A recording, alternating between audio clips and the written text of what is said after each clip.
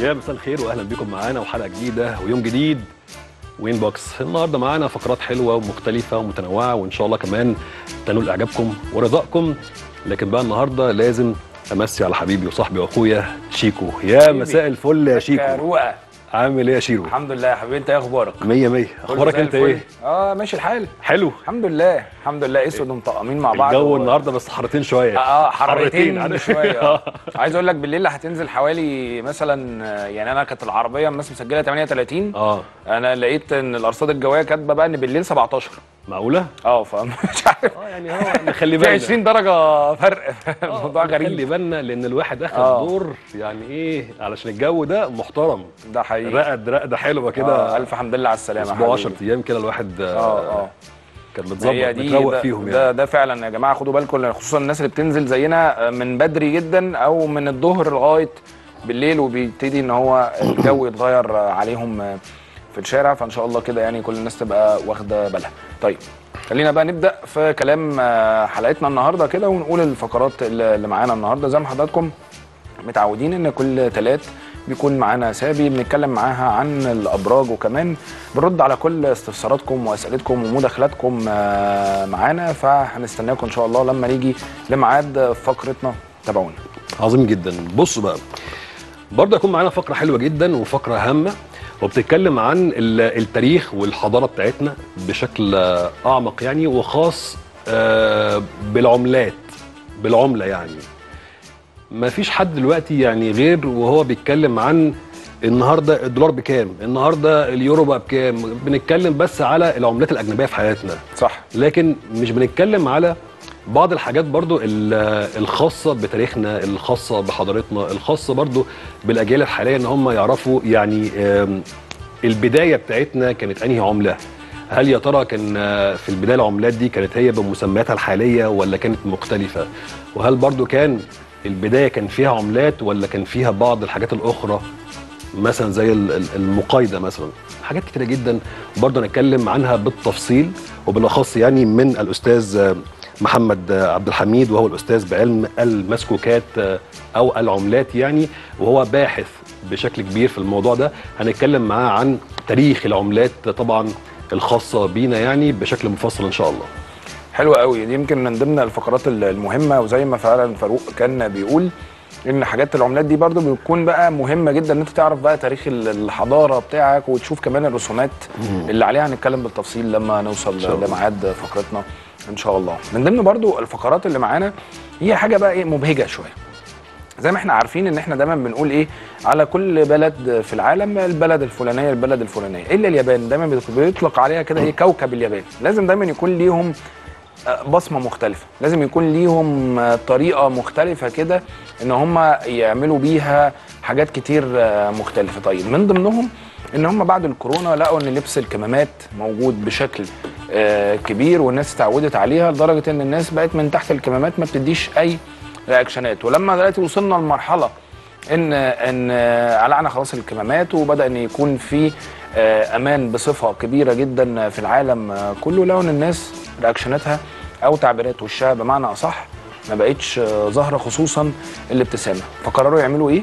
قرروا إن هم يدربوا الناس على الابتسامة. هل أنتوا شايفين إن الضحك أو الابتسامة ده مستدعي تمرين ولا دي بتبقى حاجة فطرة في البني آدم؟ لما نيجي بقى لميعاد الفقرة نتكلم معاكم بالتفاصيل آه، أكتر ونعرف رأيكم آه، معانا. تابعونا إن شاء الله. إن شاء الله. بيعجبني دايما الواحد إيه يقول لك يا عم فك التكشيرة اللي على وشك دي الدنيا مش أيوة. مستاهلة يا عم. الابتسامة حتى صدقة يا شيخ الدنيا أسهل من كده يعني إن شاء الله.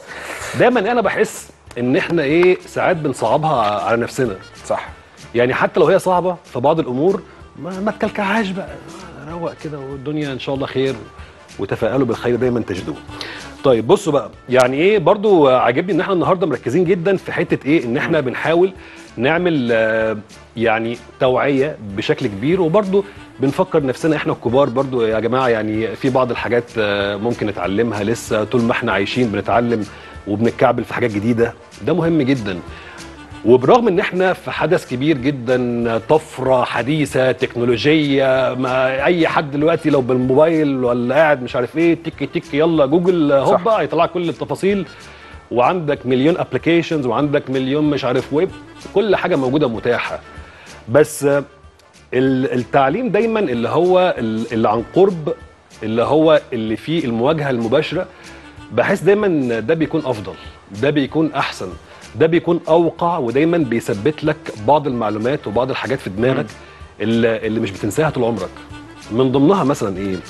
من ضمنها إن إحنا عندنا في أماكن خاصة بينا وخاصة برضو الجزء ال- ال- الخاص بقى بال بالفاطميين وعندنا الجزء مم. الخاص بقى ناحية بقى إيه؟ بهدوء كده ناحية الحسين وناحية الأماكن بتاعتنا الجميلة.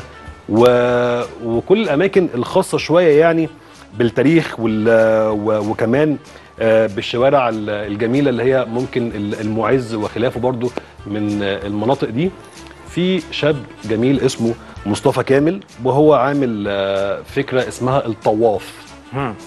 هو بيحاول يعلم الأجيال الصغيرة ويديهم بعض المعلومات الهامة جدا ويوعيهم و... وده مهم جدا يعني ما بنصدق نمسك في حد يعني صح. إيه يحاول آه، يعمل آه، شيء مفيد مم. دلوقتي وبالأخص للأجيال الحالية وعمل مبادرة جميلة جدا يا شيكو. اسمها إيه بقى؟ يعني يلا بينا على الورشة. يلا بينا إيه؟ على الورشة. بالظبط يا فاروق. يمكن فعلا كلامك يعني إحنا بنتكلم إن مصطفى كان دايما لو أنت بتنزل شارع المعز أو بتتردد على الأماكن كده نقدر نقول اللي هي ال- الأثرية زي شارع المعز. آه بتلاقي دايما إن هو ملمومه حواليه آه أطفال كتير لسن مثلا 15 سنة وما شابه ذلك. وتلاقي إن هم دايما بيحاول إن هو يعرفهم حاجات كتير. وكمان بيساهم في الموضوع ده بصفة آه كبيرة جدا. خلينا نعرف كده بقى من مصطفى نفسه كده تفاصيل الموضوع ده كده بشكل أكبر. نرحب بيه مع حضراتكم معانا على التليفون. يا مصطفى إزيك؟ أهلا وسهلا. ازي حضرتك؟ الحمد. لله والله في نعمة والله. أهلا بيك أهلا بيك. يعني مصطفى ربنا اولا يا. بنحييك طبعا على المبادرة ال- الجميلة دي. وخلينا بقى نخش معاك كده على طول في الموضوع ونفهم منك تفاصيل ال- الفكرة أو المشروع اللي أنت بتنفذه على أرض الواقع. تمام.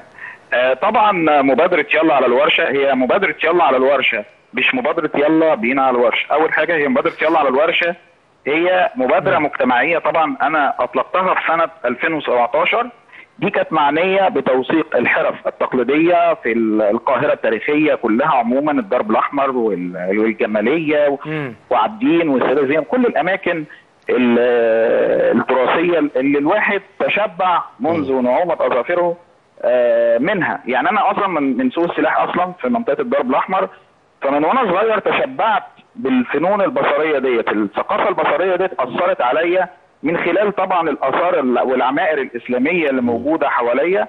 فبدأت إن أنا بشوف آه ال ال هذه الفنون مين اللي عملها؟ مين ال- اللي شكل الكلام ده؟ مين اللي, اللي اشتغل في في هذه العمائر الإسلامية وخلاها بالمنظر دوت.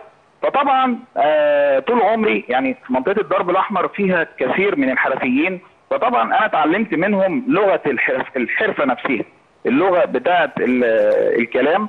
فبدأت إن أنا أنزل أوثق هذه الحرف التقليدية لتز... ل... ل... لربط.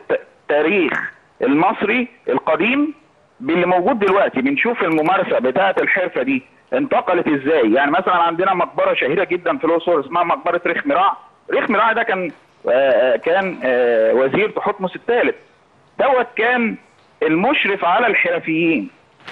فطبعا بشوف هذه الممارسات انتقلت إزاي عبر العصور. وك- وكنت بنزل لغاية دلوقتي طبعا بنزل بوثق هذه الحرف زي ال- الخيامية والأشغال المعادن والنحاس والنجارة والسبح والطرابيش والخراطة العربي والقيمه والزجاج والسرمة وتشكيل العظم والفخار وغيرها وغيرها من الفنون الجميلة بتاعتنا. آه. وببدأ أعمل مشاركة مجتمعية عبر ال social media باللي أنا أنشر ثقافة الحرف التراثية آه. عبر ال social media وإتاحة المادة الفلكلوريه ديت لكل العالم علشان يقدر يشوف اللي إحنا عندنا فنون مصرية وليها تأصيل من الحضارة المصرية القديمة لغاية دلوقتي. وال- والكلام ده أنا كنت بعمله عن علم. يعني أنا أصلا آثار آثار مصر قديم وحاليا أنا في مرحلة الماجستير في معهد الفنون الشعبية في أكاديمية الفنون. فكنت بدرب الشباب في المبادرة على التذوق الفني للحرفة. يعني قبل ما يشتغل في حرفة لازم يبقى متذوق فني للحرفة نفسها يبقى فاهم يعني إيه الحرفة دي شكلها عامل إزاي هل هيقدر يكمل فيها ولا لأ ويبقى عنده وعي حرفي بال- بالحر- بالحرفة نفسها وبتاريخ الحرفيين وعرض سيرهم يعني يعني يا أستاذ. مصطفى ادينا مثال مثلا من ضمن الحاجات اللي إحنا ممكن نعرفها منك دلوقتي على الهوا. زي إيه يعني مثلا؟ مثلا- يعني عندنا طبعا إحنا الحمد لله عندنا الحاجات ال- اليدوية بتاعتنا طول عمرنا إحنا أكيد. متميزين يعني بيها بشكل عظيم جدا ومن ضمنها أكيد. برضو كمان السجاد والمنسوجات وخلافه طبعا أكيد طبعا. كل دي حاجات إحنا بتندرج تحت النسجيات كلها دي بتندرج مبدعين تحت فيها لكن ممكن النسجية. إيه المعلومة اللي إحنا ممكن ناخدها منك دلوقتي على الهوا برضو ونكمل بقية كلامنا يعني زي إيه مثلا من ضمنها الحاجات اليدوية المميزة جدا اللي برضو بتشرحها للأطفال عندنا طبعا أشغال المعادن أشغال آه. المعادن اللي بتنزل منها الأساليب بقى الأساليب الزخرفية زي أسلوب النقش على النحاس وأسلوب التكفيت. يعني تمام. أسلوب النقش على النحاس ده موجود ممتد من الحضارة المصرية القديمة للجريكو رومان للعصر القبطي للعصر الإسلامي وده موجود في اللغة الأثرية سواء في المتحف المصري أو المتحف القبطي أو المتحف الإسلامي. كل هذه المتاحف مليئة باللغة الأثرية الجميلة جدا اللي قدر الفنان المصري بيترك بصمته عليه من خلال المواضيع التعبيرية اللي بي اللي بينزلها على هذه المواد الخام وأصبحت خالدة يعني قدر الفنان يخلد ذكراه ويخلد عمله الفني من خلال هذه اللغة الأثرية. وهذه اللغة الأثرية مين بعد كده؟ يعني المهارات بقى المستخدمة بقى سواء بقى الأدوات المستخدمة أو آه، الحرفي ذات نفسه اتعلم إزاي الحرفة؟ بالظبط. يعني اتعلمها من مين؟ وبيبقى شكل بيبقى المنظر شكله عامل إزاي وكده. بعد كده بنتعرف طبعا في في المبادرة ذات نفسها على تاريخ ال- الحرفة والحرفيين. وكمان بعمل معارض خاصة بكل حرفة بتبقى داخل الورشة نفسها أثناء الرحلات الميدانية اللي بعملها للشباب والأطفال. لاحظت حاجة جميلة جدا. لقيت الأطفال بينصهروا أكتر مع مع شيخ الحرفة يعني لما أجي آه. أجيب مجموعة من الأطفال بلاقيهم مهتمين جامد جدا بالحرفة وعايزين يعرفوا إيه الفن دوت و وايه هم. هم عايزين يعرفوا كل التفاصيل الأطفال آه، دول فعملت حاجة ظريفة جدا عايزين أي بس حاجة تشدهم. حلوة دي آه عملت آه، نشرت تسع قصص عن تبسيط الحرف التقليدية في مجلة نور للطفل تبع الأزهر الشريف. آه. تسع قصص متتالية عن ال- الخيامية وعن النحاس وعن السجاد وعن الخراطة وعن الزجاج. كل الكلام دوت عملته بعد كده مع آه، الحكايات دي طورتها بعد كده بقى مع اصول الثقافة. آه. ومع قصر خديجة اللي موجود في حلوان. آه. آه، فبدأت اللي أنا أعمل الحكايات ديت داخل القصور عبارة عن اللي أنا بعرف الأطفال بالتاريخ المصري القديم. والفنون المتعلقة بيه واللي موجود في المتاحف والمناطق الأثرية اللي حوالينا واللغة الأثرية دي والتأثير والتأثر ما بينها ومقارنتها باللي موجود دلوقتي من فنون على أرض الواقع. يعني بجيب الأول ال- الأطفال بييجوا يحضروا معايا المحاضرة. ببدأ ان أنا أعرفهم. بالفن ده عبارة عن إيه؟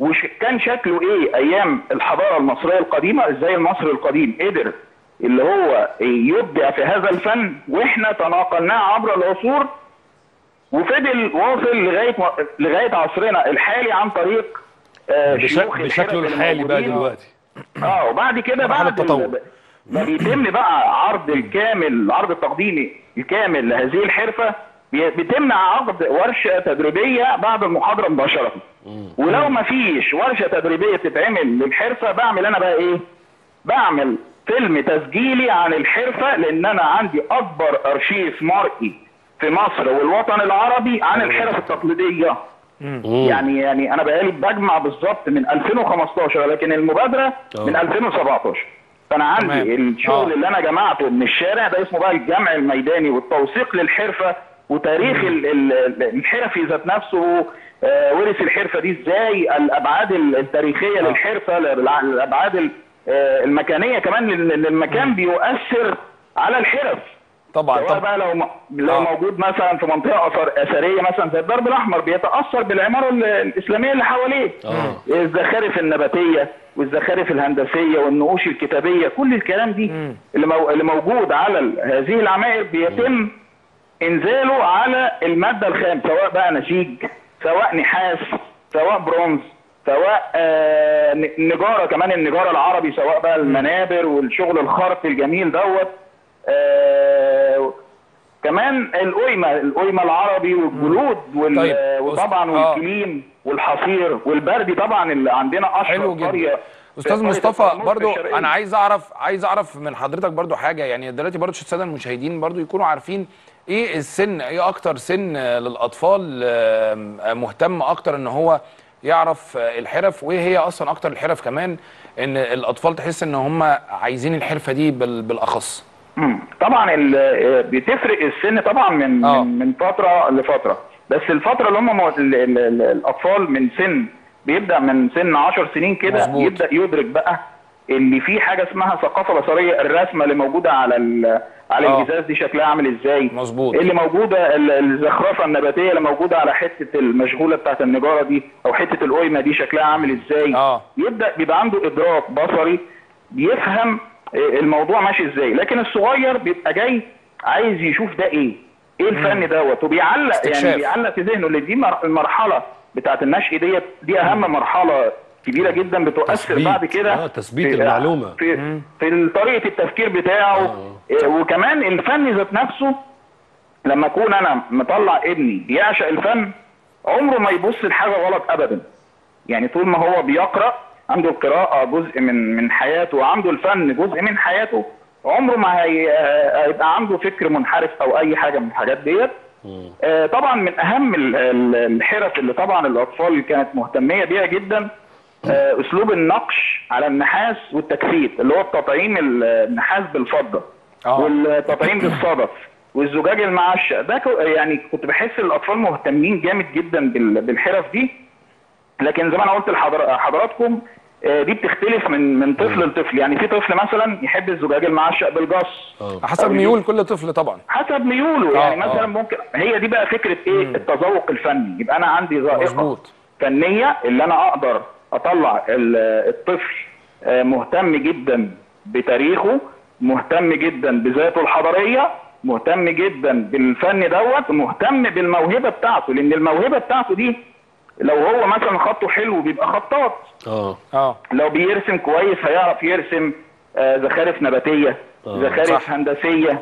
آه، يبقى مبدع هيبقى فنان هيبقى في عنده منطقة الإبداع يعني موجودة جواه مبدع أكيد طبعا لكن أكيد أستاذ أكيد. مصطفى يعني برضو كده إيه آه سؤال كده إيه على الماشي كده في السكة دلوقتي عايز أعرف منك بما إن. حضرتك يعني متخصص جدا في المنطقة دي قول لي آه لما دلوقتي التكنولوجيا الحديثة دخلت في عالم الصناعة وخلافه طبعا تمام. والطفرة الكبيرة اللي إحنا فيها دلوقتي شايف إن في بعض المهن اللي موجودة اللي هي في تاريخنا واللي هي بتعبر عننا منها اللي بيوعيني بشكل ما وهل منها كمان اللي اندثر ولا الحمد لله لسه إحنا كل ال- المهن بتاعتنا الحرفية زي ما هي؟ وايه اللي كمان المطلوب مننا يعني عشان خاطر يبقى في دعم أكتر ليها. مم. هو طبعا آه، ده سؤال جميل جدا. مم. هي فكرة الاندثار دي هي ما فيش حرفة بتندثر. تمام؟ الحمد لله. آه، هي بتنحسر لأن كتير جدا أنا قلت اتكلمت كذا مرة في الموضوع ده قبل كده وطرحته آه، اللي ما فيش حاجة اسمها فكرة الاندثار دي دي مش موجودة هل هل الفخار اندثر؟ هل لا. النحاس اندثر؟ هل النجاره اندثرت؟ استحالة. المادة الخام موجودة ولكن الأدوات تتغير بتغير المكان والزمان على حسب على أنا بتكلم على على ال الحرفي. على ال على الحرفي على آه. اللي هو الإيد العاملة اللي هي لكن اللي تتلف إيديها. في حرير وذهب دي آه لكن الحرف موجودة آه. على فكرة. يعني أنا آه. مستعد أنزل بيكم جولة وتشوفوا الحرف دي موجودة ولا اندثرت على أرض آه، الواقع. إحنا إحنا بنعرف برضو من حضرتك يعني هل مثلا التكنولوجيا أثرت على آه، مثلا نقدر نقول انتشار الحرف دي بصورة كبيرة ولا ولا شايف الموضوع راح فين؟ هي أثرت على بعض ال- أثرت على بعض الحرف بس برضه مش التأثير اللي هو الكبير. آه. آه. تمام يعني مش تأثير كبير قوي. يعني مثلا في المكنة اللي هي بتاعه ال CNC دي بتعمل شغل أسلوب الأرابيسك والكلام ده وال- والخراطة. بدل ما أنا مثلا اعمل على ال- المخرطة مثلا اللي هي العادية لا ده أنا عندي مخرطة دلوقتي كمبيوتر بتطلع على طول حاجات دقيقة بس الروح تفتقد للروح وحتى كمان ال- الذائقه سواء بقى المجتمعية أو حتى كمان ال- السائحين جايين من بره بيعرفوها بيعرفوا صح، الشغل آه ده. كان يدوي عايزين شغل حاجة آه؟ اليدوية ال handmade لأن الحاجة الحاجة اللي معمولة بالإيد بتبقى فيها روح الفنان المصري. واغلى. ابداعه. ثقافته واغلى دايما يا أستاذ مصطفى. آه ثقافته الشعبية بتبان على فكرة لأن الفنان بيدي هيبة للمنتج الثقافي بتاعه. يعني بيدي هيبة للمنتج الثقافي بتاعه. أما بخصوص ال- الموضوع هو بتاع ال- المنتجات بقى نفسها محتاجة تسويق. آه، يعني هو ده العنصر- جيت على الجرح هنا يا أستاذ مصطفى آه يعني هو الموضوع لأن إحنا بنشوف برضو لا لحظة واحدة بقى ما إحنا بنشوف. يا أستاذ مصطفى عندنا في بعض المواقع العالمية مثلا بينزل بعض الحاجات الخاصة بينا اللي هي أكيد. المصرية بتاعتنا واللي طبعاً، عليها شغل صح. حلو وتلاقيها بي- طبعاً. بيباع بأرقام غريبة وتيجي في مصر طبعاً، هنا طبعاً. تلاقيها ممكن سعرها يعني عادي اللي هو رمزي آه آه، في ال- المتناول. الجميع يعني أقصد أكيد إيه أكيد إيه الفكرة هنا ما هو الفكر اللي, اللي هنا آه يعني إحنا دلوقتي عايزين نمتلك آه. شبكه يعني مكان يكون مسؤول عن التسويق للمن... للمنتج الحرفي بس يعني يبقى متخصص بس في التسويق فقط. ياخد من الحرفيين اللي موجودين في الحواري. يعني أنا أعرف ناس محدش ي- ي- يعرفهم خالص يعني ما ولا بينزلوا معارض ولا بينزلوا حاجة. عشان كده أنا عملت الم- المبادرة جوه. جوه الورشة ذات نفسها. أنا قلت إيه؟ يلا على الورشة. ليه؟ تبقى جوه الورشه لأن في مش قادر يخش يشترك في معرض. حتى كمان لو معرض مجاني ممكن ما يبيعش. فأنا بعمل المعرض ده جوه الورشة نفسها علشان يبيع. أما بخصوص ال- المنتجات اللي اللي بتباع بره ما ده برضو إحنا عايزين نبقى عندنا مؤسسة خاصة بالتسويق. التسويق بقى سواء التسويق على على مستوى العالم مش على مستوى مصر أو الوطن العربي. وطبعا الأجانب كلهم عارفين ال- الشغل المصري شكله عامل إزاي وعارفين اللي ده. كل هذه الفنون هي سفير ل- ل- لمصر. يعني كل دوت ده سفير. صح. الفن ده سفير لمصر. لينا في الخارج.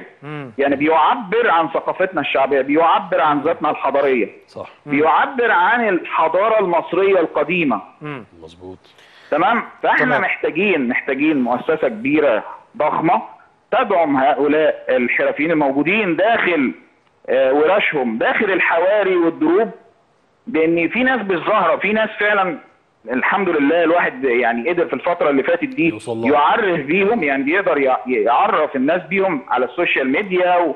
وقنوات بتنزل تسجل وكده لكن برضه في حرفيين تانيين ما, بي... ما بيقدروش يشاركوا في المعارض المعارض الكبيرة زي معرض تراثنا ومعرض ديارنا وكل المعارض الجميله دي. كبيرة، آه. بس في ناس فعلا ما بتقدرش تشترك. في ناس ما, بت... ما بتعرفش آه، أو مش عارفة أصلا إن في حاجة زي كده. فإحنا لازم ننزل للناس ديت. أنا عندي برضو أكبر قاعدة بيانات للحرفيين على مستوى مصر بفضل الله يعني عندي. أقدر إن أنا أدل كل أدل الدولة على الحرفيين الموجودين جوه. جوه الحواري وجوه الدروب بيقدروا يشوفوا الناس ديت. صح. يقدروا يشوفوا الناس ديت وي- ويعرفوا المنتج بتاعهم ده شكله عامل إزاي ويبدأوا اللي هو يقوموا بال- بالتسويق بقى سواء التسويق الإلكتروني أو الت... أو التسويق لبره. يعني المعارض الخارجية. الكبيرة اللي بتتعمل في المتاحف. إحنا برضو موجود يعني موجودين حرفيين على أعلى مستوى. بالظبط. والله يا أستاذ مصطفى يعني مبادرة حضرتك مبادرة جميلة جدا ونتمنى دايما استمرارها وإن هي نشوفها بتحقق نجاحات على أرض الواقع بصورة يعني آه، أكبر. شكرا لحضرتك يا أستاذ مصطفى كامل صاحب مبادرة يلا على الورشة. والله يا فاروق أنا شايف إن الموضوع فعلا حلو حلو فكرة إن هو برضو راح آه، للفني في مكانه في, في وجوده. وأكيد روح المكان طبعاً. والصناعة إنك تبقى واقف هتشتري حاجة أو هتتفرج على حاجة تبقى شايف المكان اللي بتتصنع فيه. ودي بتفرق. ومن جهة أخرى برضو شايف إن هي هت- هتفرق كتير جدا في السياحة خصوصا إن في زي ما هو قال في سياح بيبقوا جايين عايزين الحاجة ال handmade. اللي عجبني أكتر أول حاجة طبعا أستاذ مصطفى اسمه لايق على ال على ال على المبادرة ولايق على المشروع أستاذ مصطفى كامل. أيوة. يعني حلو. وحاجة خاصة كده بينا وبتاريخنا وحاجة جميلة يعني. ال- الجزئية دي مهمة جدا يا شريف لأن لأن إحنا فعلا الأجانب بيجوا من بره مصر هنا الحمد لله يعني عايز أقول لكم إن بعض الأماكن السياحية دلوقتي ما شاء الله ما شاء الله يعني اللهم لا حسد مليانه على اخرها أجانب. وسياح يعني. طيب إيه المطلوب مننا؟ المطلوب مننا دايما إن إحنا نصدر ده بشكل واضح جدا ليهم بشكل آه بدون مبالغة وكمان بدون إن إحنا ممكن نزود في الأسعار وخلافه. الحاجات كلها لما يكون عليها آه يعني بالأخص في المنطقة دي الرقابة الكبيرة أكتر دايما الواحد بيحس إن هو هيجي مصر مرة واثنين وثلاثه وأربعة وخمسة وده مهم قوي رقم اتنين بالنسبة لي أنا شايف فعلا هاخد من كلام أستاذ مصطفى إن إحنا الدعاية وإن, وإن إحنا إزاي نسوق لمنتجاتنا المصرية والخاصة بينا والحرفيه ده مهم قوي مهم جدا. أنا من شوية لما قلت له على سؤال التكنولوجيا والأجهزة والكلام ده كله بالظبط. أنا عارف إن الحمد لله آه، الرد هيكون منه عامل إزاي. إن هو أنا عارف إن عندنا مهن إن شاء الله مش هتندثر لأن دي تاريخنا. مش هتروح يعني. حقيقي. بس هي الفكرة إن كل ما ما نحس كده انه ممكن المنطقة دي شوية تهدى إحنا دورنا ودور كل واحد خاص بالمهنة دي وخاص بالمنطقة دي والسياحة والآثار إن إحنا نزق وندعم ونرجعها تاني للنور بشكل أكبر. لمكانتها الحقيقية. ده بالظبط. ده مظبوط. خصوصا يا فاروق زي ما أنت فعلا قلت إن أهم حاجة في كل المشاريع في العالم كله هي يا جماعة التسويق وإزاي تعرف إنك تسوق لحاجتك إن أنت ممكن يكون عندك منتج جميل منتج فعلا آه، بيدل على الحضارة المصرية والتراث ال- المصري وفي الأول أو في الآخر أنت مهمل في حتة آه، التسويق ومش عيب إنك تستعين بخبراء التسويق في حاجة زي دي. وزي ما كان فعلا مصطفى كامل كان أستاذ مصطفى كامل بيقول إن إن فعلا حتة التسويق دي لا لازم يكون في لجان مسؤولة عن التسويق خصوصا في الحاجات اللي بتدل على آه، تراثنا ال- المصري. فنتمنى طبعا آه، النجاح ونشوف دايما الحاجات دي على أرض الواقع بصورة أكبر وأكبر. كده خلصت آه، فقرتنا الأولى معاكم وخلينا بقى نروح معاكم عن ال- الفقرة الثانية بتتكلم بقى عن إيه بقى الفقرة الثانية بتتكلم عن ال- الابتسامة. الابتسامة يا فاروق. الابتسامة. الابتسامة. الابتسامة. الابتسامة يا جماعة يضحكوا وانتوا ماشيين. الموضوع ده كله جاي من اليابان إن هم كده عاملين فكرة ودراسة وبيمرنوا ال- الناس على إن هم آه، يبتسموا من خلال إن هم يكون معاهم مراية ماشيين بيها وإن هم كل شوية يمرنوهم. إن أنت تطلع المراية دي تبص على نفسك وأنت ماشي أنت بتضحك ولا لأ؟ والموضوع ده جه من إيه؟ ممكن حد يقول لك إيه يا عم ال- إيه اللي أنتوا بتتكلموا فيه ده؟ بس أنا عايز أقول لك برضو الموضوع ده جه من إيه؟ وهم ليه فكروا في حتة زي دي؟ لأن اليابان آه، من أوائل الناس ومن أواخر الناس آه، من أوائل الناس اللي التزموا بارتداء الكمامة ومن أواخر الناس إن هم أصلا استغنوا عن الكمامة واستمرت معاهم ثلاث سنين على وجوههم. ويمكن دي فترة كبيرة خلت الناس من كتر ما هي إحنا عارفين إن هي بلد صناعية وبلد تكنولوجية من الطراز ال- الأول فتقريبا معظم الشعب بيعمل وبينزل بصفة آه، دورية يومية. فالموضوع ده خلاهم إن هم خلاص من كتر ما عارفين إن وشهم متغطي استغنوا عن الابتسامة بقى مجرد بس إيه تعبير صوتي. فهو ده اللي خلاهم إن بعد كده بعد إزالة الكمامة بدأوا يحسوا إن فعلا لا في مشكلة إن الناس بقت ماشية كله بوكر فيس كله قافل وشه يعني لا منه آه. بيضحك ولا منه مكشر هو ما ما فيش أي رد فعل على وشه. هم اتثبتوا على كده. آه بالظبط. آه والله ده إحنا لو في مصر لو حد ماشي بمراية كده كل شوية يبص فيها ويضحك كده يقول لك ده مجنون يا عم عارف أنت الجو؟ آه آه بالظبط آه ما دي بقى مشكلة إن إحنا آه هي دي المصيبة السوداء عارف اللي هو إيه إن إحنا ممكن نعمل حاجة يعني تكون مفيدة لينا و... وفعلا يعني آه، تظبط لنا آه، يعني إلى حد ما مدنا شوية تهون عليك بعض الحاجات شوية عادي جدا.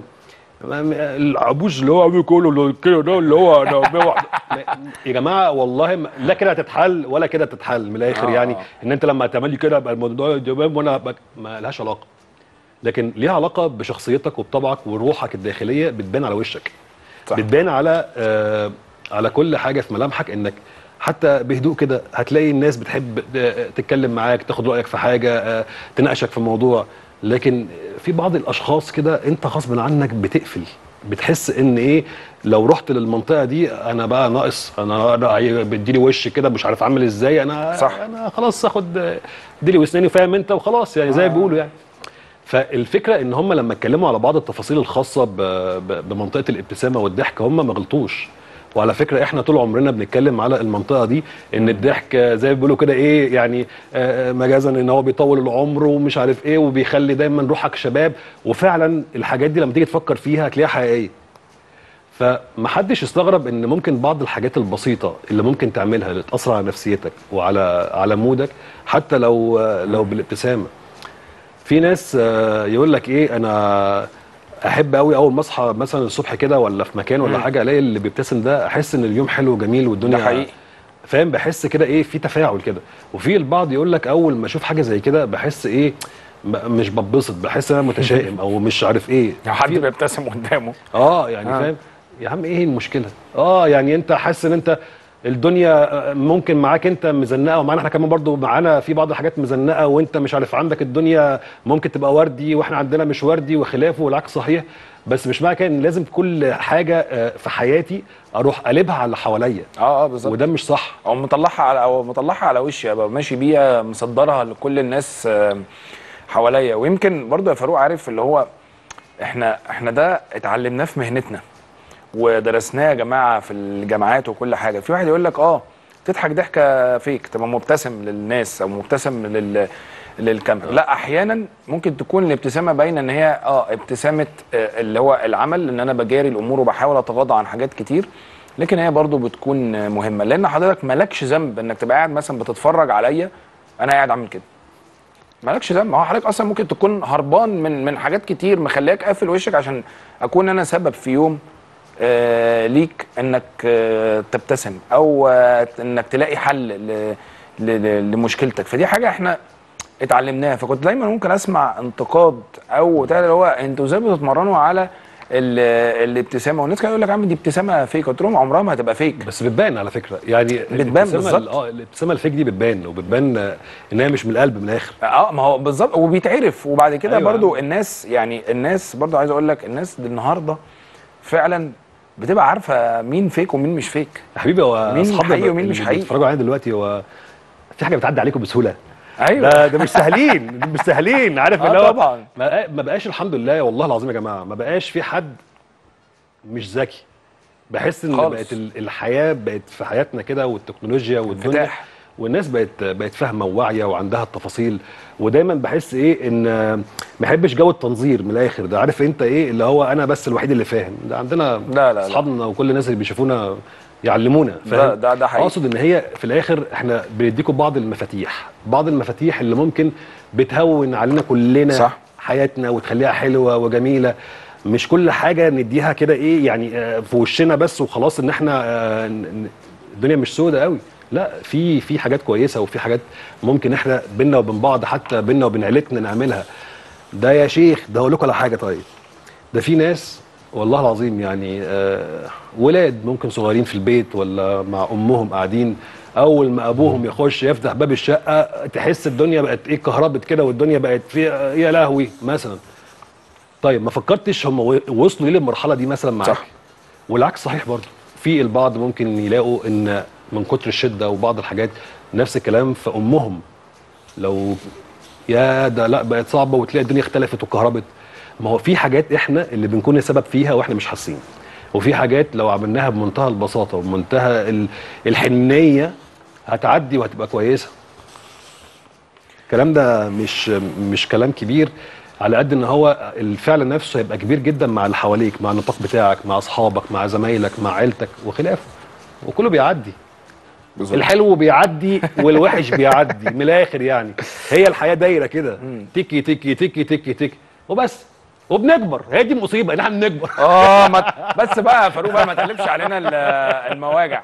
بما ان إحنا بنكبر خلينا بقى إيه نقفل معاكم الفقرة دي. وخليكم يا جماعة دايما آه، مبتسمين وحاولوا تواجهوا كل حاجة بابتسامة ويعني بساعة ويعني كده إيه يعني بسعه صدر. وإن شاء الله كل الأمور بتعدي. خلينا بقى نطلع لفاصل ونرجع نتكلم معاكم كده عن تاريخ العملات المصرية ونكمل معاكم باقي فقراتنا بعد الفاصل. تابعونا. بصوا آه، في علم كده اسمه علم المسكوكات علم العملات. طبعا دلوقتي يعني إيه لو هقول العملات أقول لك بس بص الدولار بكام دلوقتي؟ بص آه، الجنيه عامل إزاي دلوقتي؟ لا مش ده مش بتكلم على كده بس. بتكلم على تاريخنا بتكلم على حضاراتنا بتاعتنا حضارتنا في كل الأوقات وكمان ده شيء مهم جدا. وعلى فكرة يعني آه، عايز أقول لكم إن في بعض العملات القديمة لو متواجدة دلوقتي بتتباع بأرقام محترمة يعني. طيب الأساس بتاعها إيه؟ يعني آه، إحنا كان زمان بنستخدم إيه؟ الجنيه ولا كان قبليها ليها مسميات أخرى؟ وإحنا عارفينها ولا وقفنا لحد ال ال 25 قرش ولا ال 10 ساغ ولا الخمس قروش ولا القرش ساغ ولا ولا بمليم ولا كان في قبلها كمان حاجات تانية. طبعا هي كلها حاجات مرتبطة بأزمنة مختلفة.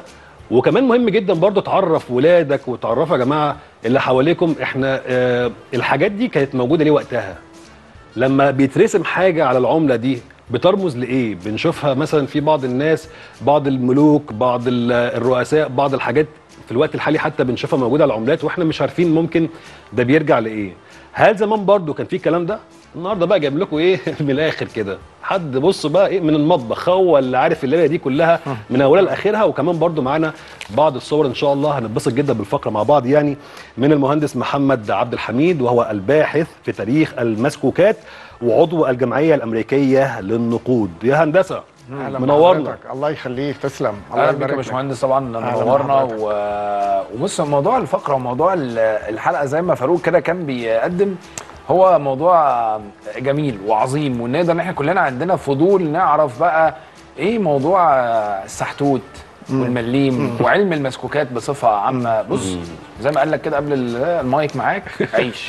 علم آه، المسكوكات. مبدئيا عاوز أحيي حضراتكم وإن شاء الله تبقى فقرة جميلة ولذيذة. إن شاء الله. آه، مبدئيا علم ال- المسكوكات هو العلم اللي بيهتم بدراسة المسكوكات وتحليلها ووصفها وتصنيفها آه، بهدف بقى اللي إحنا نطلع بمعلومات كتيرة جدا ممكن تفيدنا في التاريخ بشكل عام.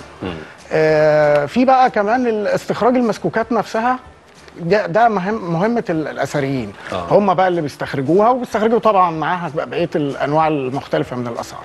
بيجي بعدها دور المرممين يشوفوا هل المسكوكات محتاجة ترميم هل محتاجة بعض التنظيف ثم بعد ذلك بقى دور علماء المسكوكات آه، المسكوكات بتقدر تدينا معلومات كتيرة جدا عن فترات زمنية مختلفة ونقدر نقول إنها أقرب لوثائق تاريخية يعني ال- المسكوكات بتدينا معلومات مثلا عن الأوضاع السياسية الأوضاع الاقتصادية الاجتماعية الثقافية الدينية وأشياء كثيرة جدا. حتى ممكن توصل لمرحلة ممكن تدينا فكرة عن مثلا آه، تطور العلم تطور الصناعة في الفترات الزمنية ديت. بالنقود آه ما هو النقود دي آه اللي بتصرف دي رايحه جاية دي؟ آه، ما النقود دي اتصنعت. لا بتقعدش في جبنه دي؟ آه، هي ما بتقعدش بس زمان كانت بتقعد. هي ما هي ما بتخشش هي بتعدي هي بتيجي رايحة طريقها هي رايحة طريقها. هي عارفة طريقها رايحة فين. هو زمان كان الصناعة كلها آه، يعني تعتبر بالنسبة حاليا بدائية وكانت معظم الشغل يدوي. آه. فعن طريق بقى اللي إحنا نعرف التقنيات الصناعة القديمة نقدر نعرف تطورها عبر الزمن. فهل في فترات كان مثلا العملية بسيطة خالص وبدائية بعد كده اتطورت شوية بعد كده اتطورت شوية وهكذا. فهي مش بس بتدينا معلومات عن جوانب معينة من التاريخ لا هي تشمل حاجات كتيرة جدا. ومن ضمنها برضو الفنون. يعني ما هو العملات عليها دايما رسوم ونقوش بالظبط. بتورينا بقى ثقافة كل عصر وال- والموضوع بالنسبة لمصر متنوع جدا لأن على مر التاريخ إحنا عدينا بثقافات متنوعة كتيرة جدا جدا آه، جدا آه،.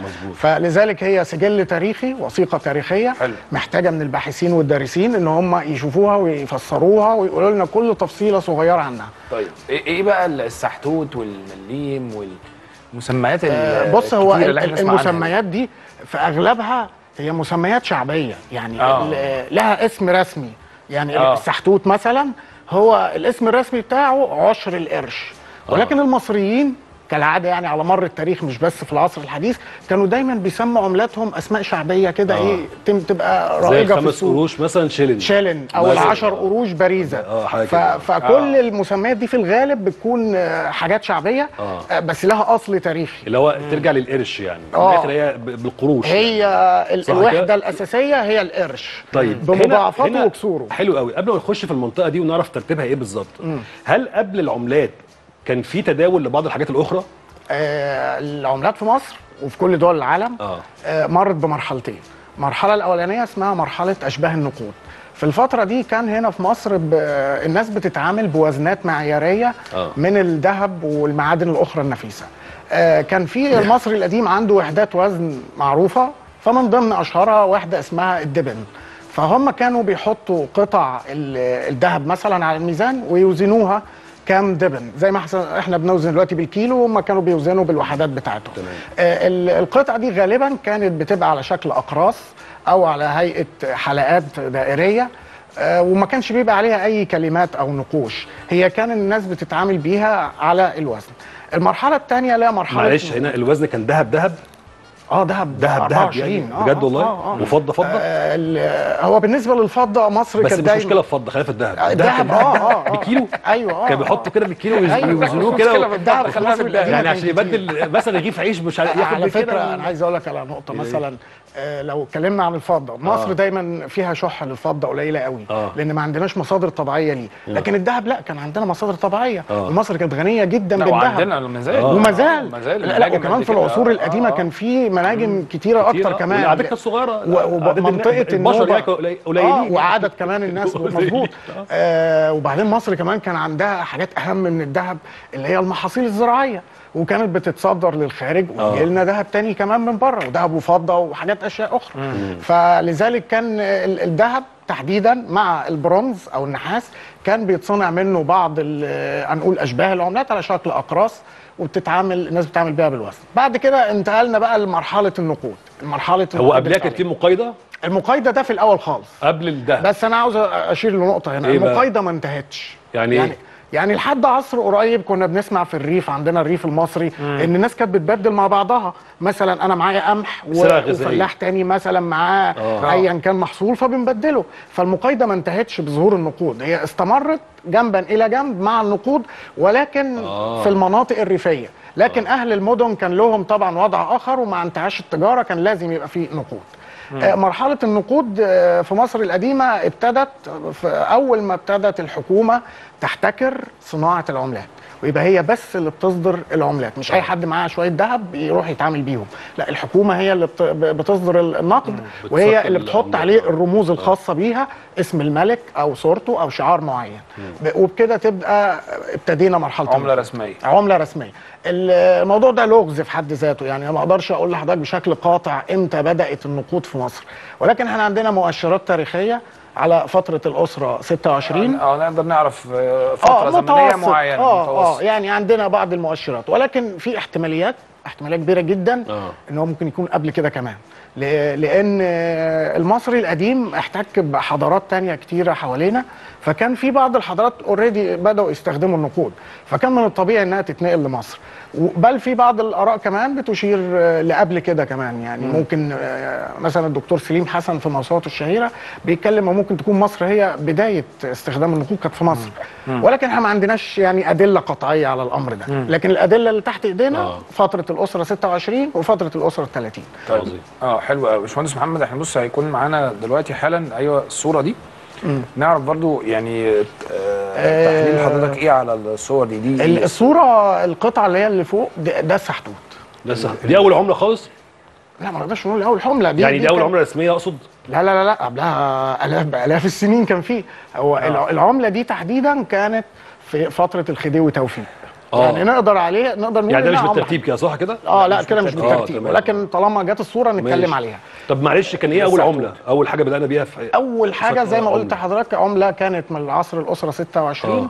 آه ملك مصري اسمه نخاو الثاني آه. وفي بعديه على طول عصر الأسرة تمام 30 ده, ده العصر اللي هو بتكلم المصري القديم صح كده آه آه بعدها بقى آه. في البطلمي ثم الروماني ثم البيزنطي ثم الإسلامي بعصور متنوعة يعني قبل ال... يعني مثلا دي, دي عملات فترة الإسلامية أيوه آه. كده ده بعد. الفتح الإسلامي مباشرة كان في بعض فئة الفلس اللي هو مصنوع من النحاس والبرونز. في الفترة دي الدولة الأموية كانت بتحتكر صناعة أو صك النقود الذهبية فما كانش في نقود ذهبية في مصر بتتصك كانت بتجيلنا من بره من دمشق. ولكن كان في بقى فئة الفلس زي اللي حضر- حضراتكم شايفينه. آه، أول واحد على اليمين من فوق ده عليه بقى المأثورات الإسلامية الواضحة لا إله إلا الله آه، وحده وعلى الوجه الآخر محمد رسول الله. آه. بعديه بقى اللي جنبه على طول ده مكتوب عليه من ناحية الفسطاط ومن ناحية مصر. ومكتوب عليه بقى اسم الخليفة هو كان آخر خلفاء بني أمية. وبعديه ده فيوم ده مضروب في الفيوم مكتوب عليه بفيوم. في الفيوم؟ آه في الفيوم. يعني اللي هم اللي فوق ولا اللي تحت بقى اللي تحت. اللي آه، تحت على, اليمين, اليمين على تحت. اليمين. بالظبط مش شايف عشان بعيدة شوية آه اللي جنبه ده أتريب. أتريب؟ دي آه أتريب, أتريب؟ دي موجودة في بنها محافظة القليوبيه وفي بقى حاجات تانية يعني مثلا برضو في آه، أهناسيا أو إهناس دي برضو موجودة في بني سويف. برضو دي فترة ال- الفترة الأموية بس تحس الكلام طلع مظبوط يعني كل لا، حاجة طبعا كان في دقة في الصناعة دقة برضو وحضرتك لو حلوة. شفت كمان ف... يعني حتى قبل العصور دي بقال- بآلاف السنين برضو كان في دقة في الصناعة آه. اللي كان. يعني مثلا الصورة دي بتوضح لنا المصري القديم كان إزاي بي... بيتعامل بال... بوزنات الذهب هتلاقي في واحد واقف على الميزان دول- دول وبيوزن وضع تاني دول- دول. و... وعلى الكفة هنلاقي حلقات ذهب وعلى الناحية الثانية سنجه الميزان كانت على شكل حيوان يعني على شكل غزالة أو راس طور آه، لا، اللي هو اللي- التقيلة أو الوزن اللي بيتحط الناحيه الثانية يعني الوزن اللي بنشوف آه. بقى هل الحلقات بروح دي عند نفس الخضري أو الوزن فكان يا جماعة بيحط لكم الوزن الكيلو أو 2 بالظبط، كيلو آه. اللي هو الوزن ده الناحية وبيحط لكم الكيس بتاعكم في ناحية بالظبط فده كأنه فهنا بقى يعني. بيورينا إزاي المصري القديم كان بيتعامل بالحلقات الذهبية ديت آه. وفي جنبه كاتب بيكتب بقى العدد عدد القطع قد إيه وأوزانها قد إيه. ويسجلها فده مشهد تقريبا متاخد من مقبرة في البر الغربي في الأقصر آه. وبيورينا إزاي ده ده مشهد لجمع الضرائب. يعني الحكومة كانت آه، بتجمع بتجمع الضرائب بالشكل ده. بالشكل. والكاتب ده موظف الحكومة بيأيد بقى ال- ال- الضرائب اللي وصلت ليه قد إيه. آه، ده- دي بقى عملة النوب نفر. آه، دي فترة الأسرة 30 العملة الذهبية اللي فوق دي آه، عملة مشهورة جدا. هنلاقي على وجه مرسوم عليه حصان والحصان ده رمز للقوة أو المنعة وعلى الظهر بقى في علامتين من الخط الهيروغليفي. آه، بينطقوا مع بعض نوب نفر. وتعني أن ذهب جيد أو ذهب خالص. آه، العملة دي طبعا نادرة جدا. ده نادرة من جدا أهم إيه؟ العملات في إزاي تاريخ معموله. كده أصلا؟ آه، آه، اللي كان بيحفر إيه؟ القوالب فنانين مش مجرد عامل أو حد كده أي كلام لا ده كان فنان نحات بي آه، بيحط تصميم للعملة وبيعرضها على الملك لا عارف لو قلت لك دي مكنة ليزر هتقول لي ده أقل واجب لا ده مثلا كل حاجة كانت أنا بتكلم. يعني افتراضا يعني فاهم آه، اللي هو؟ أكيد كل حاجة يدوي. القالب كان بيصنع آه، غالبا بتكلم على. فاهم؟ بتكلم على الجودة. آه لا النتيجه كان يعني أو لذلك صناعة القوالب ما كانتش آه، حاجة عادية كان لازم يبقى فنان ولازم يكون نحات وفاهم كويس إزاي يتعامل مع المعادن آه، دي بقى أول ظهور بقى في العصر الحديث لفئة الريال والبريزه والشلن وزي ما قلت هي مسميات شعبية للفئات النقدية دي اللي هي 10 قروش وقصدي 20 قرش و10 قروش وخمس قروش. آه، كانت فترة محمد علي. وكل حاجة لها أصل. يعني الريال أصله متاخد من عملة أسبانية اسمها الريال كانت آه. مشهورة قوي كانت زي الدولار مثلا في عصرنا. آه. فكان وزن الريال المصري قد الريال آه، بتاع إسبانيا. فعشان كده سموه الناس الشعبيين سموه الريال اللي كانوا عارفينه. آه. آه البريزه اتسمت ن- نسبة إلى باريس لأن في بريزه في وقت الخديوي اسماعيل يا راجل. في باريس. بجد والله. آه والله. بريزة هي باريس؟ باريس آه. بجد والله؟ اتسكت في باريس. يا خرابي. الناس آه العوام سموها بريزة والله نسبه إلى باريس. إحنا فعلا والله. شعب لا هو والله كل. مسمى ليه- لو فاهمين كل حاجة. أنا لو قلت لك كمان. سحتوت هتلاقي فيه إن هو فيه سخرية كمان من الناس. يعني الاسم متاخد من آه، من كلمة سحت وسحت دي وحدة آه، مساحة. إحنا عارفين ان ال ال ال ال الفدان بيتقسم لقراريط والقراريط لاسهم وفي بقى اصغر كمان من السهم وحدة اسمها السحت. كانت واحدة صغيرة جدا. فهو عشان كانت عملة صغيرة فالمصريين سموها سحتوت. يعني هي حاجة صغيرة خالص. دلعناها برضو حتى. آه دلعناها. لا لازم. المصريين يعني على مر التاريخ أيوة. كانوا دايما بيحبوا آه، آه، يختاروا أسماء كده مميزة قوي آه آه طب والصورة دي؟ آه هنا اللي فوق ده أول قرش في مصر. آه ده كان في فترة آه علي بيك الكبير. أول قرش في مصر. آه كان آه وزنه كبير بس ال- الفضه عيارها منخفض شوية. آه دي كانت آه، فترة كان بيحاول فيها اللي هو يستقل عن آه الدولة العثمانية. ولذلك هو حط اسمه ده أول قرش قرش واحد بس. آه واحد قرش. يعني إحنا من شوية يا جماعة شفنا الصورة اللي قبليها اللي هي كانت فيها خمس قروش و10 قروش و20 قرش. آه، ده ده بقى قرش القرش. منهم. ده آه. قرش واحد منهم. آه ده قرش واحد بالظبط. الله عليك. وبعدين فترة محمد علي بيه الكبير حاول إن هو ينفصل عن الدولة العثمانية وبدأ ي- يصدر نقود عليها اسمه آه. لكن طبعا محاولته فشلت بعد كده آه. اللي تحتيها ده بقى الجنيه ده أول جنيه في الله. مصر طبعا كان ذهب الجنيه على طول ذهب عشان آه. نبقى متفقين آه لحد ما آه، توقف بقى استخدام الذهب خالص في العملات ليه؟ ليه توقف كده؟ ليه؟ هو السبب طبعا العملات الورقية آه طبعا ما أنا بهزر أنا بهزر يعني يعني الجنيه ده دلوقتي بقى برقم يعني آه، ده. كان وزنه بعديها. 8 جرام ونص عيار 21 وكان في فترة محمد علي باشا. هنا بقى السحتوت واللي تحتيه دي اللي آه، هي آه. معلش النكلة. كان ك- كام جرام؟ كان كام جرام؟ 8 جرام ونص 8 عيار جرام. 21 الله. آه، ده بقى السحتوت وال- والنكلة. السحتوت زي ما قلنا أصل الكلمة من وحدة مساحة اسمها سحت.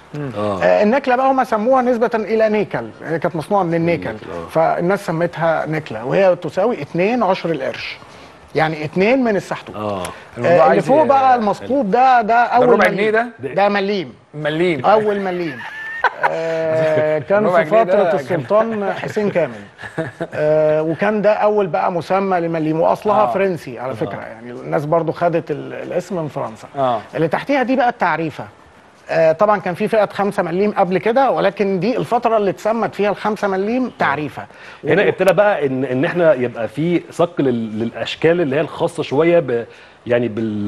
بالرموز أو بال آه صح آه، كده؟ آه ال- ال- يعني هنا الفترة دي هنا رموز مصرية خالصه آه يعني في الفترة دي كان بيبقى صورة الملك أيوه. آه واسمه اسم المملكة. تمام. آه هنا بقى ظهرت ال- العملات الورقية وكانت البداية سنة 1898 ده اللي مجنن الناس ده آه بقى ظهر أول حاجة النص جنيه اللي هو عليه أبو الهول وبعد كده الجنيه اللي عليه الجمالين. مشهور جدا جنيه الجمل اللي بقول لك عليه دلوقتي. جنيه آه، الجمل آه. الحق جنيه الجمل مش عارف بكام. آه هو هو جنيه جمل يا مشهور جدا بس آه، لل- أرقام. للأسف يعني بيطارد منه مزور كتير يعني. ما طبعا آه ففي ناس بتحاول تسعى إنها يعني بيحاولوا تنصب يشغلوا. دماغهم. آه بالظبط الآخر بالظبط. بيتمسكوا. آه بس في الآخر آه، أي حد عنده أي خبرة هيعرف إن هو مزور وهو عموما ده دي م- يعني مش عملة بتظهر كده بالصدفة يعني مفيش عملات من العملات النادرة بت- ممكن تلاقيها بالصدفة كده يعني إيه؟ مبدئيا.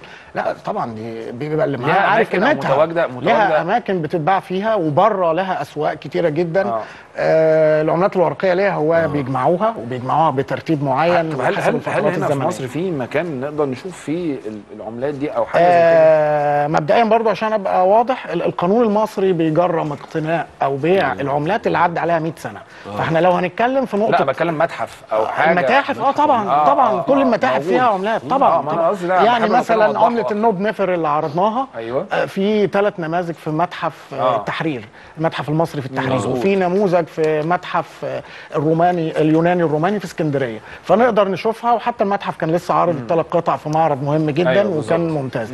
وبالإضافة بقى لكل عملات على مدار التاريخ آه، فترة بقى البطلمي والروماني وهكذا. حلو. المتاحف كلها بتعرض بالنسبة بقى لل- للعملات اللي هي أقل من 100 سنة واللي هو مصرح اللي إحنا نشتريها أو نقتنيها فدي على النت في جروبات كتير الناس ممكن بتعرض عليها مقتنياتها وهكذا. ولكن آه، بالنسبة للعملات الورقية الأمر مختلف يعني هو عادي بقى دي, دي مش مجرمة ولا حاجة. طب هندسة بقول لك إيه دلوقتي كان في وقت من الأوقات يقول لك إيه يقول لك إحنا أو بنشوف يعني إحنا آه، كنا بنتعامل مثلا بالدينار بالدراهم بال- بالدرهم.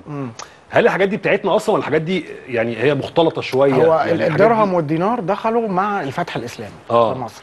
وظلت ال- العملة الدرهم والدينار والفلس. الدينار ذهب والدرهم من الفضة والفلس من البرونز. ظل حوالي 900 سنة ويمكن يقارب 1000 سنة. من الفتح الإسلامي لحد فترة العثمانيين. هي دي الثلاث فئات الرئيسية في العملات في مصر. آه ولكن كان أوزانها بتختلف من فترة لفترة. لكن المسمى كان ثابت. أصل بقى المسمى لا هو مصري ولا هو عربي. يعني الدينار أصله عملة اسمها ديناريوس وكانت عملة رومانية. آه، الدرهم مأخوذ برضو من كلمة درخم ودي كانت وحدة وزن يونانية في الأصل. آه، العرب طبعا اتأثروا بالحضارات اللي كانت قبلهم وهم كمان أثروا في الحضارات اللي جت بعدهم. وده أمر طبيعي جدا لأن كل الحضارات خدت من بعضها وكل الحضارات اتأثرت من بعضها. يعني مفيش آه، منظومة نقدية كده ولدت من العدم. لازم تبقى متأثرة من اللي قبلها وتأثر في اللي بعدها. لأن التاريخ دايما متصل. إحنا نقول مفيش انقطاع. تاريخ دولة زي مصر كله مرتبط ببعضه. يعني العملات في الفترة البطلمية مرتبطة بالفترة الرومانية مرتبطة بالفترة الإسلامية. كلها خط واحد وماشي بانتظام. فلذلك آه، عملة ال- العملة الدر- الدرهم والدينار كانت أساسية لحد نهاية دولة المماليك. آه طب ليه ليه برضو عايز أعرف منك زمان كنا بنسمع آه بيتقال على عملات ضرب في مصر أو حاجات أو حاجات زي كده. دي كانت راجعة لإيه؟ آه، كلمة ضربة يعني تم سكها في مصر. فضرب في مصر يعني أوكي. اتسكت في مصر. والجملة دي بالمنظر ده بالظبط كانت بتستخدم في الفترة العثمانية. ولكن حتى في الفترات الإسلامية كان دايما المأثورات المعهودة بيكتب إيه؟ ضرب آه، ضرب هذا الدينار في مصر سنة كذا. فالكلمة دي مقصود بيها لا تعرف فئة ال- النقد وال- والمعدن بتاعه والسنة اللي اتسك فيها. يا باشمهندس نورتنا الله يخليك وقفتنا. الله يكرمك وخليت تسلم. فقره حلوة تسلم. الله يبارك جداً. شكراً جداً ليك. الله. يخليك شكرا تسلم الله يبارك في. حضرتك شكرا ليك يا باشمهندس ولسه. هنكمل معاكم باقي فقراتنا وبعد الفاصل مع سابي تابعونا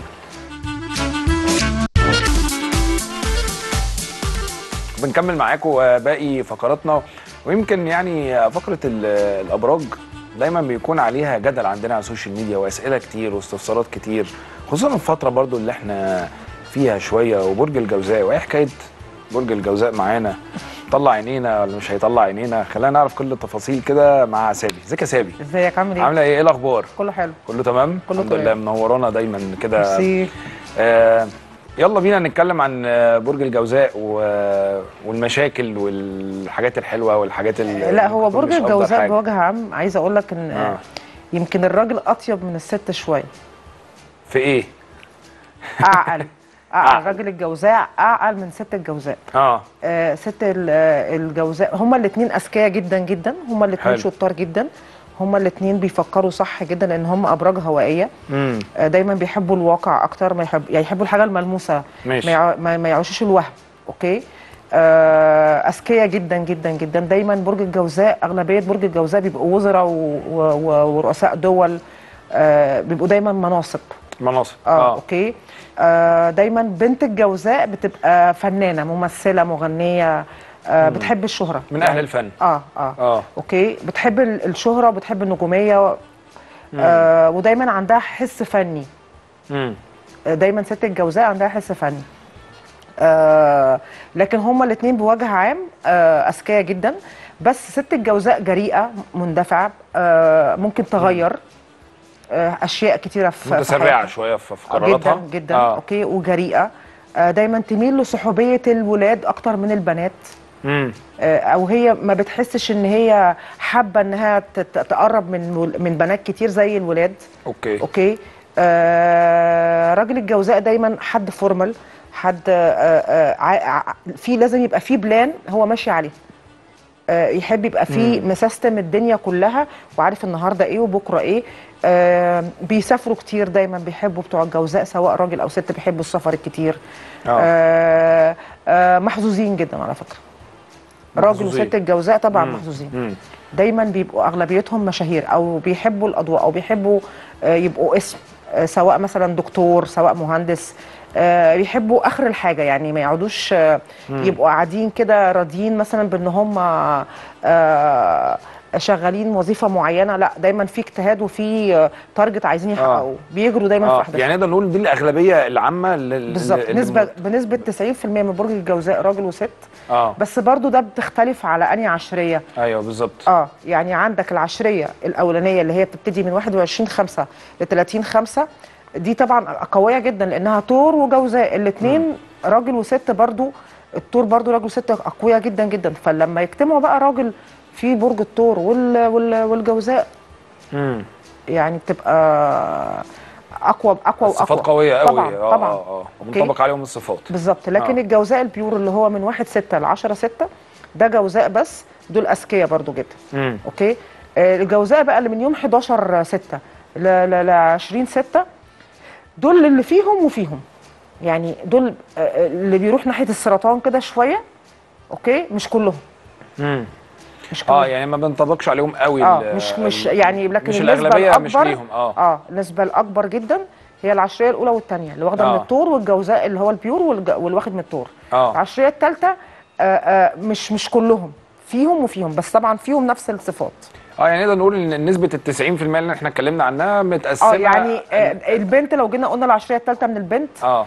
آه اللي قريبة من السرطان بتبقى بتميل للعاطفية أكتر. آه، حساسة الأبراج عاطفية. المائية، آه, آه. آه. بتبقى حساسة عاطفية. آه آه ما بتعرفش تعبر عن نفسها بتبقى مش واخدة حقها. عكس الجوزاء الجوزاء جريء وبيطالب بحقه أوكي؟ مم. آه آه راجل السرطان برضو آه آه عاطفي وحساس آه دايما آه بيميل للعزلة بيميل إن هو عايز حد يدافع عنه.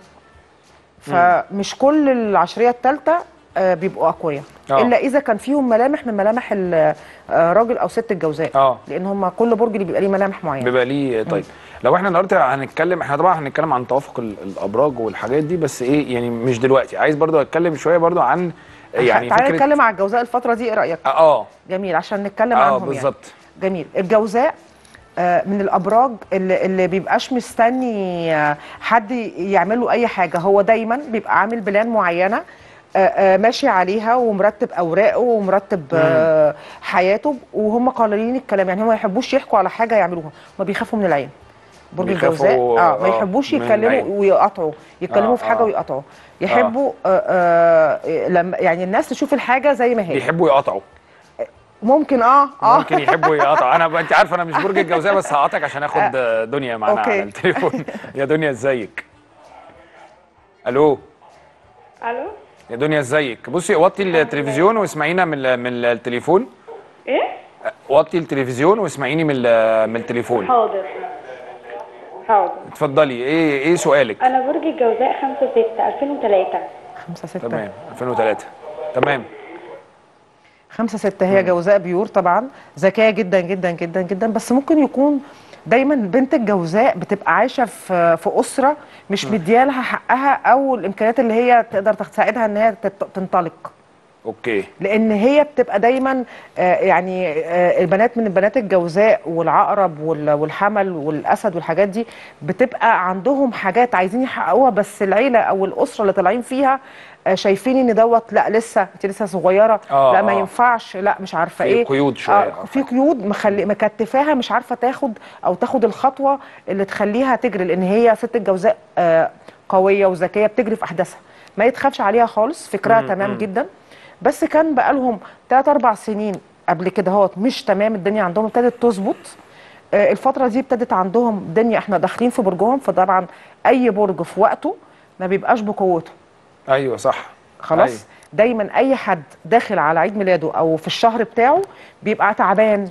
اسأليني. بتبقى اسأليني الدنيا مش حلوة الفلوس بتقل معاه آه، بيحس إن هو مضطهد كده أو في حاجة غلط. آه آه. ما يركزش لأن ده بس فترة آه، زمنية اللي هو فيها برجه بيبقى كده. بمجرد بس ما بيخلص برجه الدنيا بت بتلمع معاه. بت- بتلمع معاه. بتلمع معاه مع- آه. جدا جدا جدا. فبقول لها ما تقلقيش الفترة دي إحنا داخلين على برجك.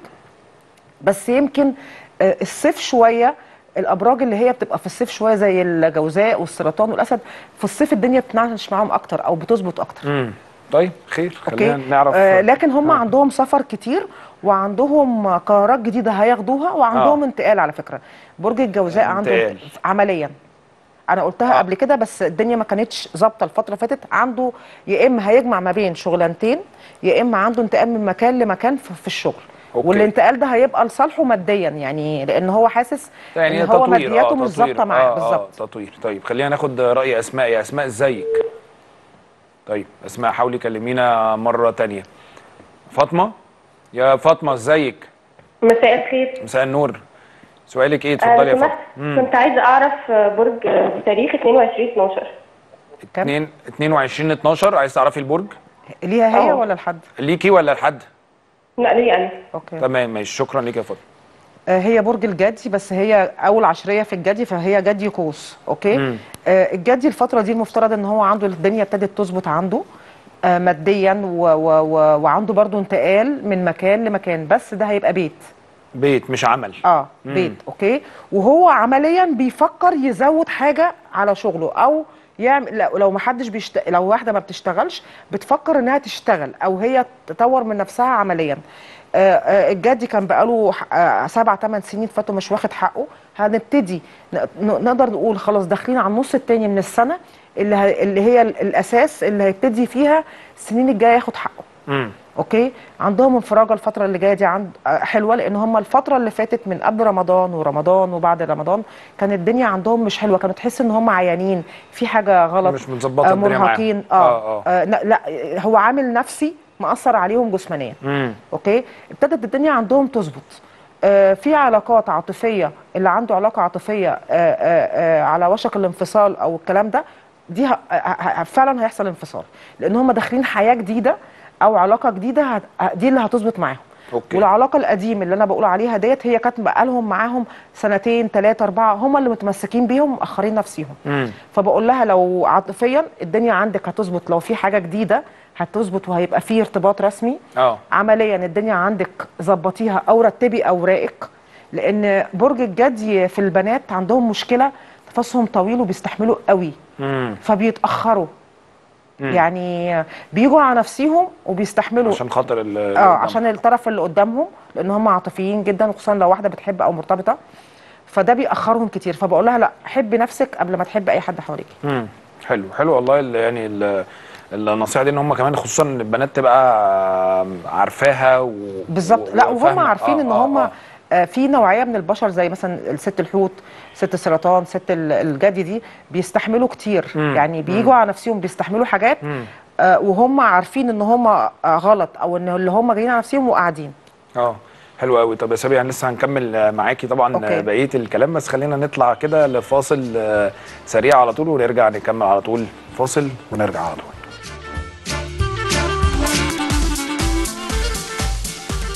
بنكمل معاكم آه، باقي كده حلقتنا وفقرتنا وبنتكلم النهارده بالأخص عن برج الجوزاء وهي دي فترته وهي دي الفترة اللي إحنا داخلين عليها بقى كده في العشرية الأولى والمنتصف وال... والأخيرة. كنا بنقول إيه يا سابي بقى عن عن أحمد. عن أحمد أيوه آه. كان أحمد 16 آه 6 نكمل بقى الجو... نقول على أحمد ولا خلاص كده أحمد؟ لا أحمد عرف كده آه، خلاص طب هو. يعني هو سمع بس ما ردش عليا هو اتصدم. آه طب تيجي نقول على توافق الأبراج اللي تنفع ريت الجوزاء؟ آه ماشي. آه. الأبراج اللي تناسب برج الجوزاء آه أقوى برج يناسبه القوس. القوس. القوس يناسبه جدا جدا آه. والثور لازم يقابل الثور والقوس. آه الميزان. الثور عشان هو واخد من الثور شوية يعني آه لا قريبين من آه بعض دايما شوية. آه دايما آه البرجين اللي, اللي أكتر أبراج ورا بعض وتلاقيهم في بينهم chemistry غير طبيعية هو الثور والجوزاء. حلو. لكن دي ما بتحصلش في كل الأبراج. ما بتحصلش في كل آه يعني مش قاعدة مش عامة مستحب. آه لا آه لا آه مش, قاعدة مستحب مش مستحب. ماشي. okay؟ آه آه لكن أكتر برجين دايما بيبقى بينهم كيمياء غير طبيعية الثور والجوزاء. حلو. دايما بيتقابلوا يعني. آه. آه الجوزاء لازم هيقابل العذراء وال- والقوس وال- والميزان و- والدلو. والدلو. دول الأبراج اللي دايما بيقابلهم بتبقى علاقة ناجحة جدا جدا جدا. امم امم حلو قوي. طب خلينا ناخد كده برضو سؤال جهاد يا جهاد ازيك؟ الحمد لله. عايزه اكلم سابي اتفضلي معاكي سامعاكي. لو س... بقول لك لو سمحتي أنا متجوزة. أها. وفي مشاكل ما بيني وما بين جوزي ورافعه قضية وكده. فعايزه أشوف الدنيا فيها إيه. طب برجك إيه حضرتك؟ برجك إيه؟ على 18 2 وهو؟ 30 9 آه هو ميزان وهي آه دلو آه حوت. ماشي شكرا ليك يا جهاد. لسه كنت بقول على الدلو من شوية. آه. يستخبى. أيوه آه بالظبط بنات الدلو الفترة دي عندهم مش حلوة. بلاش ياخدوا قرار في الفترة دي لأن إحنا عندنا آه طول السنة في أيام بتبقى آه آه، حظنا حلو فيها وفي أيام ما بتبقاش آه بنستخبى فيها. okay؟ فالفترة دي الدلو لو اخذت أي قرار آه هيبقى مش لصالحها. حتى لو هي غلط أو هي صح مش هيبقى صالحها مم. okay فما. أنصحهاش إن الفترة دي تاخد خالص تستنى لغاية بعد 25 6 تاخد أي قرار هي عايزاه يعني يعدي تهدى الجوزاء آه. تهدى شوية لأن. ست الدلو آه آه هي بتجري في أحداثها آه فعايزة كون فيكون وهي دايما بتبقى على حق بس بتضيع حقها بطريقتها مم. بالاندفاع آه يعني ست الدلو طيبة دايما بتبقى إحساسها ما بيكدبش وبتبقى صح بس الطريقة بتبوظ كل حاجة. آه. طريقتها في السيناريو في طريقة حلول المشاكل أوكي. في رد فعلها بتضيع كل حاجة بتخلي آه، بعد ما هي كانت على حق بتبقى هي اللي عليها حق. أوكي. حلو قوي طيب خلينا ناخد كده برضو سؤال رغدة. يا رغدة إزيك؟ ألو؟ رغدة؟ ألو مساء الخير. مساء النور. بس صوتك بعيد بس مش سامعك؟ كويس. ألو؟ لا دي ولا يهمك. آه بعد إذن حضرتك بس يا سالي كنت عايزة أسألك آه 30 3 تمام؟ 30 تمام. واحد سبعة. تمام ماشي. شكرا ليك يا كنت رغده عايزة أعرف البرجين دولت آه، متوافقين مع بعض ولا لأ؟ 30 3 وكم؟ 7 30 3 و1 7 واحد 30 سبعة. 3 هي حمل حوت و1 7 سرطان. ما يتفقوش. آه. ما يتفقوش. حوت وسرطان، وخصوصا الاتنين لو. هي لو هي آه لو هي حوت أو هي اللي سرطان هي قوية. ست الحوت قوية وست السرطان ذكية وقوية جدا آه. الاثنين يعني سواء هي إحنا ما نعرفش مين فيهم الحوت ومين آه، السرطان. آه. بس سواء هي حوت أو سرطان الاثنين أقوياء وأذكياء وبيفهموا جدا. okay؟ آه آه آه هو غالبا هي قالت على نفسها هي الأول اللي هي الحوت. آه هي حمل sorry. آه، هي حمل حوت. وبرده الحمل قوية جدا جدا جدا. وذكية جدا جدا جدا. ما بترضاش بأي حاجة. okay؟ هو سرطان آه راجل السرطان وراجل ال- الحمل okay سواء هي هو برضه سرطان أو حمل طيبين جدا جدا جدا ما يسدوش مع ست الحمل أو السرطان. okay. يعني أنا بقول لها آه. آه يعني طبعا في فجوة أنت أذكى وبتجري في أحداث حياتك. okay. آه. وهو هادي جدا وعايز حد يفكر له عايز آه. حد ينفذ له. مم. ما انصحاش ماشي خلينا ناخد آه، برضو سؤال آه، مروة. يا مروة إزيك؟ اتفضلي. ألو؟ مروة؟ آه حاولي كلمينا آه، مرة تانية. طيب إحنا كنا بنتكلم عن توافق الأبراج وقلتي إن في كذا برج ماشي مع آه مع برج الجوزاء. مع برج ال- الجوزاء. إيه بقى الأبراج اللي نقدر نقول إن هي مستحيل تماما؟ بص آه راجل الجوزاء آه سهل وسياسي. بيعرف يتأقلم مع البشر كلها بيعرف بيعرف يعني بيعرف يتكلم بيعرف ي- يمتص اللي قدامه. هو مش بتاع مشاكل وما بيحبش المشاكل. فدايما هتلاقيه بيتكلم في في خطوط حمراء حاططها خصوصا لو هو في شغله آه. حياته الشخصية هتلاقيه ما بيربطش ده بده. يعني ممكن يبقى عنده صحاب في شغله بس مش صحابه صحابه بره شغله.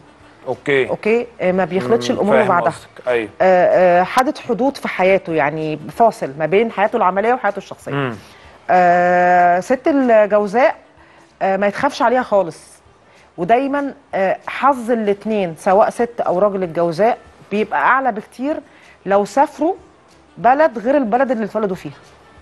آه يعني بيبقى حظهم من أفضل الأبراج شوية. ونسبة كبيرة جدا جدا جدا جدا من برج الجوزاء ست أو راجل دايما بيسعوا للسفر بره ودايما لدول أوروبية. أوكي؟ حلو. ودايما حظهم بيبقى بره أكتر بكتير من هنا. من هنا. حتى اللي موجودين هنا بيبقوا جزء كبير منهم نفسهم يمشوا بس مش لاقيين الفرصة. أيوه لكن حظهم الأعلى بره البلد اللي بره اللي. اتولدوا آه، فيها. ماديا وع... آه، ماديا وعمليا. وعمليه آه. حلوة قوي طيب خلينا ناخد رأي نوال. يا نوال إزيك؟ ألو؟ نوال؟ الله يسلمك إزي حضرتك؟ أهلا بيك يا. فندم. سؤال حضرتك إيه؟ سامي سامعاكي اتفضلي يا فندم. عايز أسأل على برجي أنا مواليد آه، 59 شهر 6 20 6 2 6 أوكي. 2 6 تمام ماشي. شكرا يا فندم تسلم. اتفضلي. آه، اتنين ستة برج الجوزاء ده جوزاء pure.